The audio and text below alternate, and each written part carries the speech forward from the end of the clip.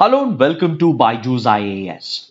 Let's take up the analysis of today's The Hindu newspaper by looking at a column from page number 6 of the Delhi edition.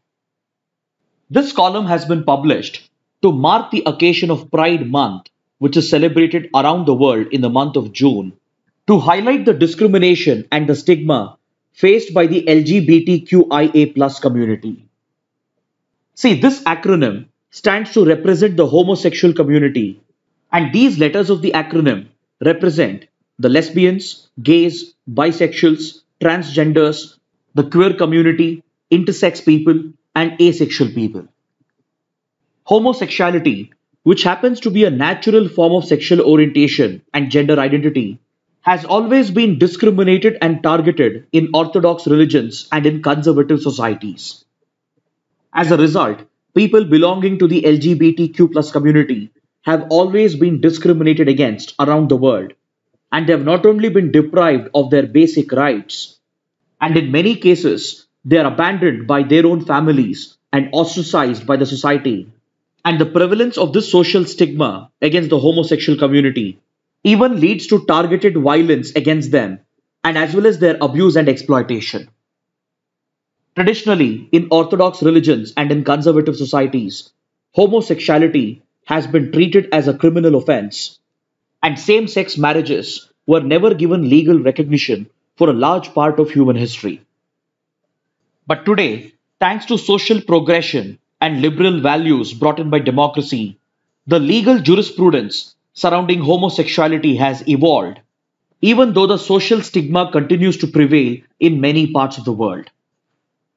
Today, there are 29 countries around the world where same sex marriages are recognized legally and same sex partners are given equal rights and equal dignity under the law.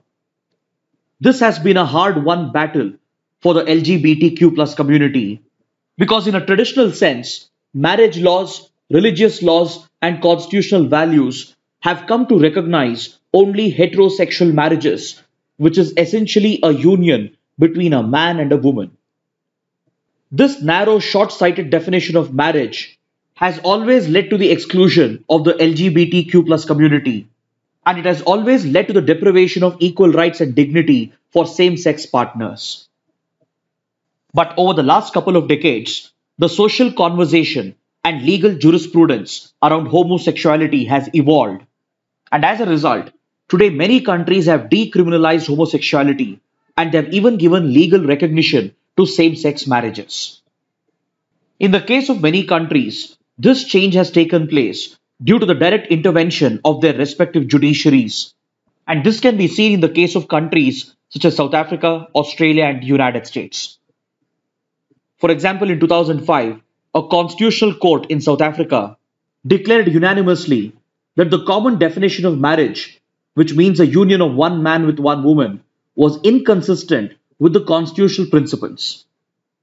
Following this landmark judgment, the South African judiciary pushed the parliament to enact a law which would recognize same sex marriages.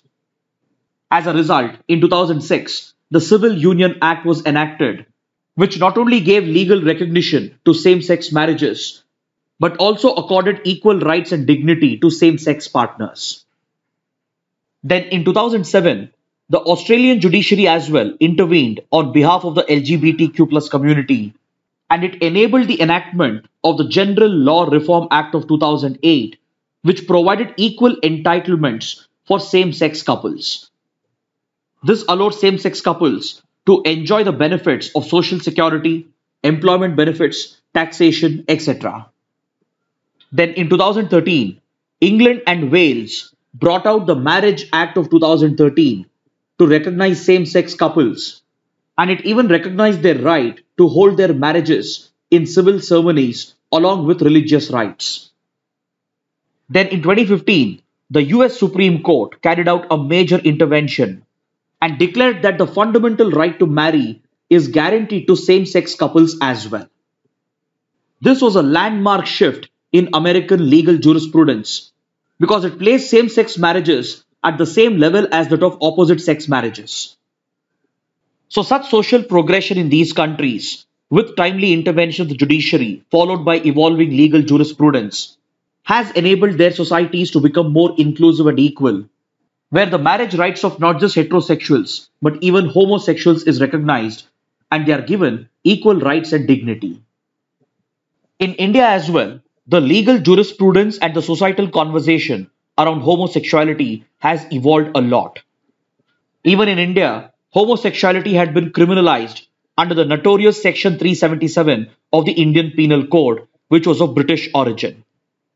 This law was seen as draconian as it criminalized homosexuality because it even criminalized homosexual activity between two consenting adults. This law was so regressive that it treated homosexuality as unnatural and to be against the order of nature. Following years of struggle and movements led by the LGBTQ community, in 2009, the Delhi High Court declared this provision as unconstitutional. But unfortunately, it was overturned by the Supreme Court in 2013 in the Naz Foundation case. But after the Supreme Court recognized right to privacy as a fundamental right in the 2017 Puttaswamy case, the Supreme Court went on to deliver a landmark judgment in 2018 in the Navtej Singh Johar case. Through this ruling, the Supreme Court decriminalized homosexual activity between consenting adults, and it was seen as a landmark moment for India. But despite the decriminalization of homosexuality, there is still no legal recognition given for same sex marriages in the country. This, according to the writer, is highly unfortunate and violative of constitutional provisions, including fundamental rights enshrined under Article 14, 15, and 21 and also violative of several judgments of the High Courts and the Supreme Court. The Indian government and the Indian society in general is still hesitant to recognize same sex marriages, and this is very evident from a recent case that came up in front of the Delhi High Court. The Delhi High Court was looking at a case seeking legal recognition for same sex marriages, and in response to this case, the government of India informed the High Court that this case was not urgent as the country was battling a pandemic without realizing the fact that disruptive events such as a pandemic always has a disproportionate impact on vulnerable and excluded communities such as the LGBTQ community. Despite these landmark judgments and despite the evolving legal jurisprudence around the world, the government of India argued in front of the court that India is still not ready to recognize same-sex marriages as it goes against our recognized societal values and cultural history. This regressive argument of the Government of India made in front of the High Court brings to light the struggles of same sex couples in demanding equal rights and dignity to themselves. See, in India, the marriage laws are very short sighted and they provide for a very narrow definition of marriage. Marriages are given legal sanctity under respective religious laws or personal laws such as the Hindu Marriage Act of 1955, the Indian Christian Marriage Act, and as well as the Muslim Personal Law Application Act. So such laws provide legal recognition for marriages and they all recognize only heterosexual marriages. All the personal laws that we have in India, they only recognize heterosexual marriages, which is a union between a man and a woman. They simply don't recognize any other form of sexual orientation or sexual identity and does not give any recognition for homosexuality. So this outdated laws of India, they go against our own constitutional provisions, which has been used by the judiciary to decriminalize homosexuality and to recognize that people of other sexual orientation and identity also have equal rights and dignity. So in this context, the laws that do not recognize homosexual marriages, they themselves become unconstitutional. But the judiciary, parliament and the government they fail to act upon it. But there are enough judicial precedents available that sets the stage for expanding the definition and scope of marriage in India. For example, in 2019, in the Arun Kumar and Shrija case, the Madurai bench of the Madras High Court provided for redefining the term bride as used in the Hindu Marriage Act. This was seen as a very progressive judgment because redefining the term bride in the Hindu Marriage Act would provide for the inclusion of trans women and other persons who identify their sexual identity as women. Through this judgment, the Madras High Court sought to expand the definition of marriage to provide for greater recognition of rights for trans women. This landmark judgment of the Supreme Court was based on the foundations of an earlier Supreme Court judgment delivered in 2018. This judgment is related to the Shafin Jahan case, or also popularly known as the Hadia case. In this landmark judgment, the Supreme Court held that every person has a fundamental right under the Constitution to choose their partners and to marry their partners.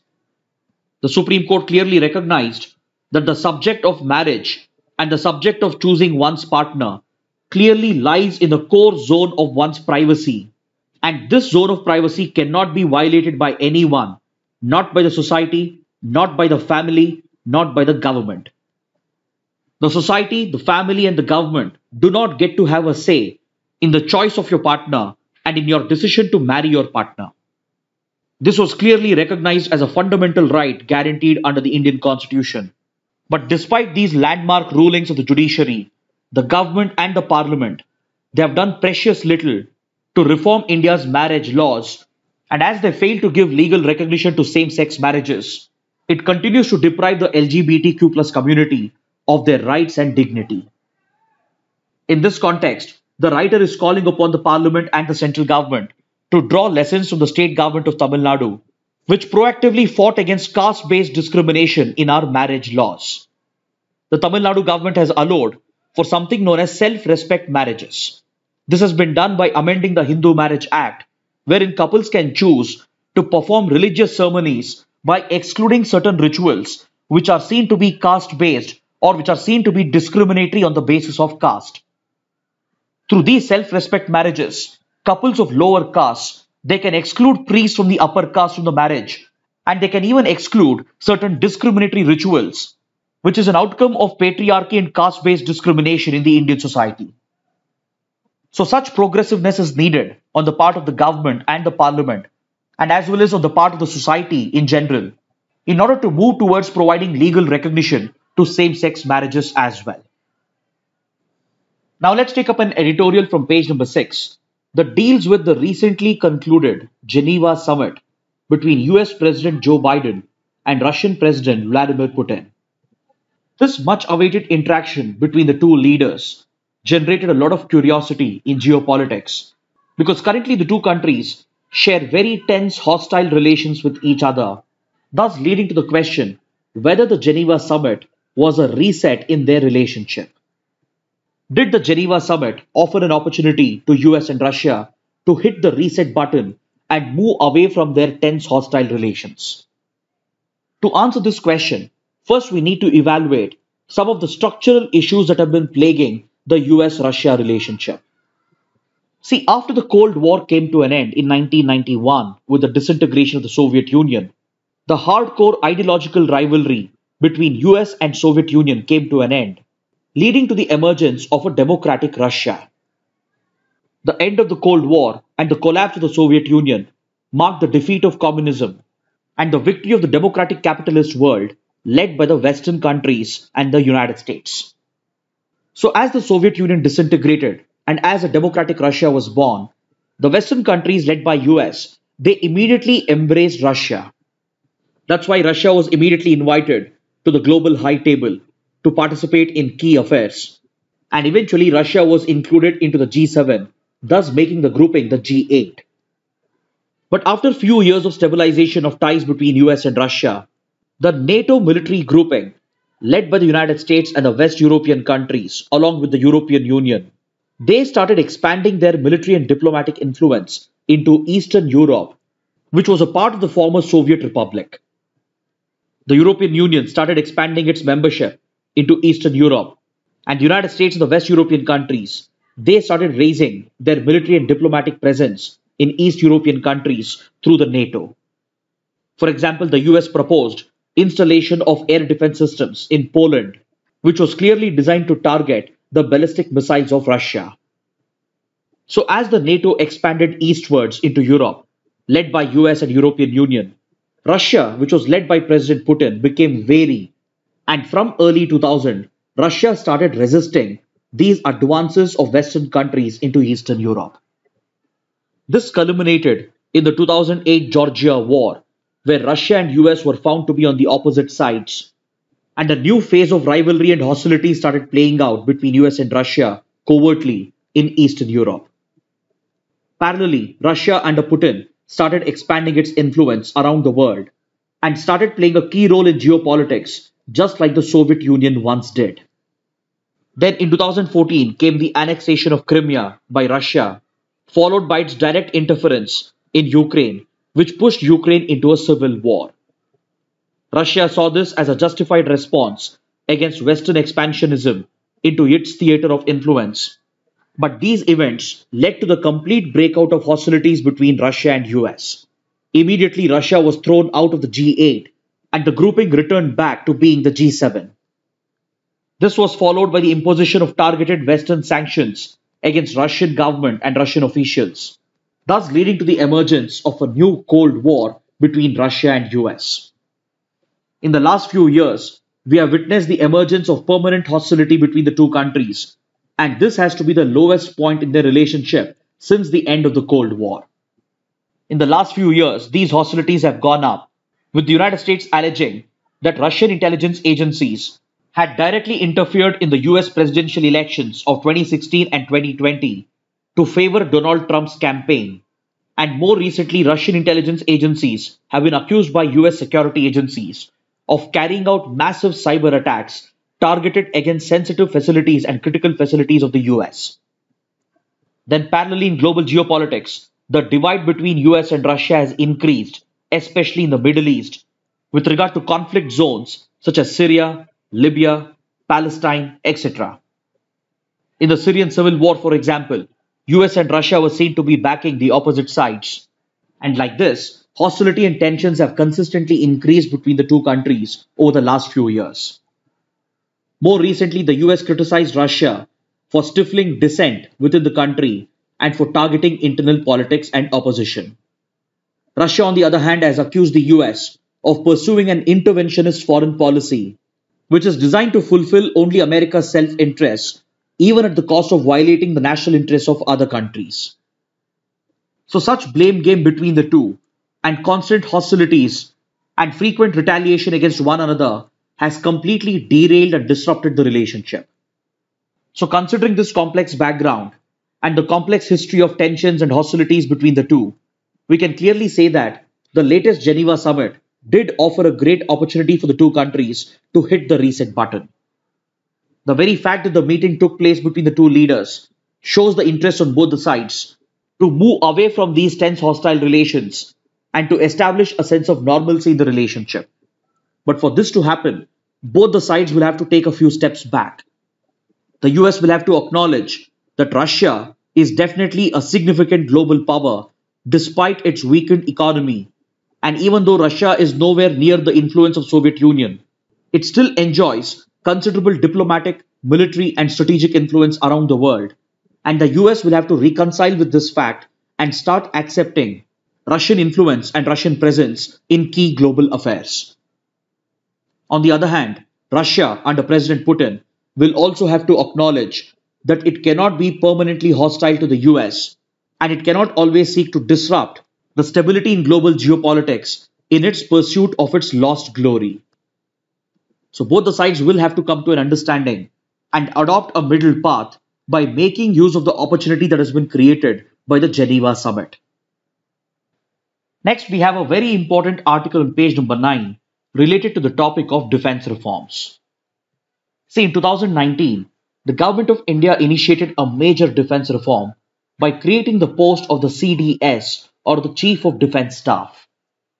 By following the recommendations of the Kargil Review Committee and the Naresh Chandra Committee, the CDS was established as the highest ranking military officer in the country. And the CDS was even given a dual role to act as the secretary to the newly created department within the Ministry of Defense, that is the Department of Military Affairs. The role of the CDS was to act as the single point of contact between the government and the armed forces, and as well as to build jointness amongst the three services by promoting further integration of the three services. This was supposed to be achieved with the establishment of joint commands and theater commands by clubbing the existing assets of the Indian Navy, the Indian Air Force, and the Indian Army. the creation of such joint commands and theatre commands was supposed to be based on the lines of the tri-service commands that already exist. For example, the Andaman and Nicobar Tri-Services Command and the Strategic Forces Command, which operates India's nuclear arsenal. Then as the Secretary to the Department of Military Affairs, the CDS was also supposed to speed up defense modernization and acquisition. So to execute these key functions, former Army Chief General Bipin Rawat was appointed as India's first CDS. So in the pursuit of his mandate to build jointness amongst the three armed forces by establishing joint commands and theatre commands, the CDS has taken a major step and he has established a high level committee for this purpose. Currently, the CDS and the Government of India are considering a proposal to create joint commands such as the Joint Air Defense Command. See, currently the three services, the Navy, Air Force and the Army, they all have their separate air defense units. Air defense is a specialized branch of armed forces that is meant to defend the assets of the armed forces and the assets of the country against any aerial threats and attacks. So the Air Force, Navy and the Army, they all have their own air defense units. So such duplication leads to overlap, confusion, and wastage of resources. Hence, the focus is towards integrating such common assets by bringing them under a joint command.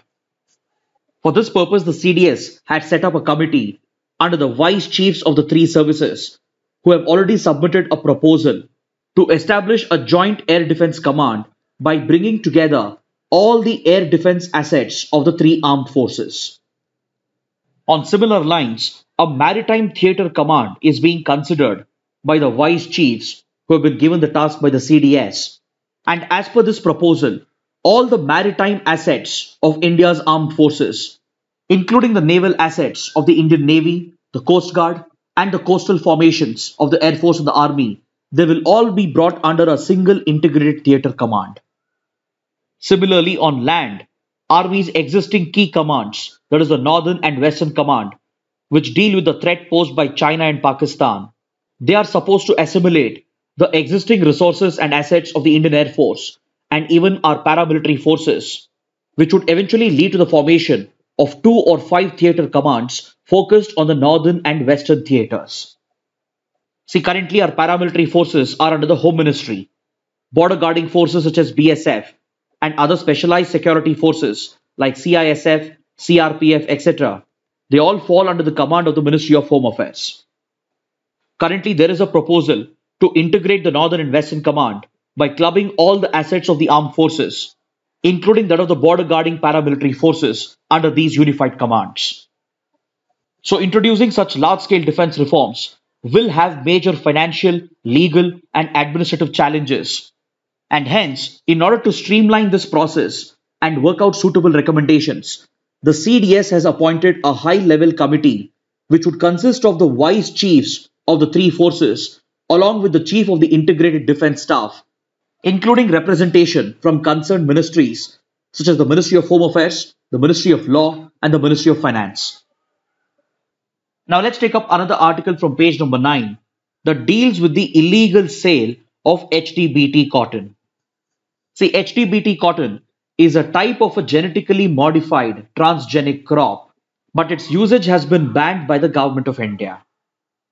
See, GM crops or genetically modified crops, they offer many advantages, but they also bring a lot of risks.